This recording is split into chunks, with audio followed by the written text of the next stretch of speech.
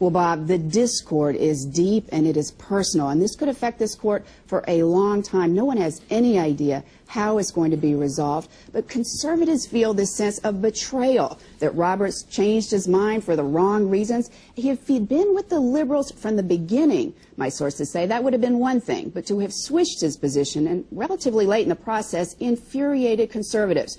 Of course, we don't know why he switched. He may have been focused solely on the law, but that is not what some of his colleagues believe. Now, Roberts initially sided with the four conservatives to strike down the heart of the health care law, the individual mandate, that requirement that all Americans buy insurance or pay a penalty. And when he changed his mind, he joined with the liberals to instead uphold the law. And then he tried furiously, with a fair amount of arm twisting, I'm told, to get Justice Anthony Kennedy to come along. Now, Kennedy sometimes sides with the conservatives, so he would have been Roberts' best hope. But on this issue of federal power, Kennedy was firm. The conservatives refused to even engage with Roberts on joining his opinion to uphold the law, and they set out writing their own opinion. They, they wrote it really to look like a majority decision, my sources say, because they hoped that Roberts would rejoin them to strike down that mandate. And Kennedy was relentless until the end, trying to get Roberts to come back, but Roberts did not. So the conservatives' decision instead became a dissent.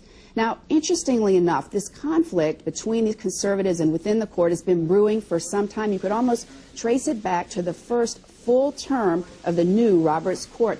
That term had several controversial cases, such as school busing, abortion, and liberal justices then thought Roberts had signaled when he came onto the court that he would be open to compromise, that he would be more moderate. But in that term, he sided with the conservatives, and the liberals felt misled. They were furious. As one said at the time, he talks the talk, but he won't walk the walk.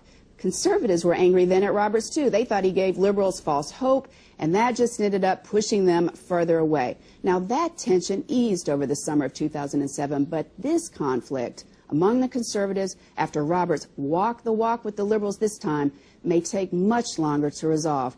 Of course, the court does erupt into conflict occasionally, Bush versus Gore uh, being a famous example back in 2000. But some people believe that you would have to go back nearly 70 years to see this kind of tension, almost bitterness, I think you could say, uh, that now exists among the justices. So, Jan, uh, what does this portend for the future? Is this court now going to be a liberal leaning court? No, no. John Roberts was, is, will be solidly conservative on most of the cases. And you're going to see it, I believe, next term when they come back at the end of the summer and sit again to take up a whole new raft of cases, several which will be very controversial.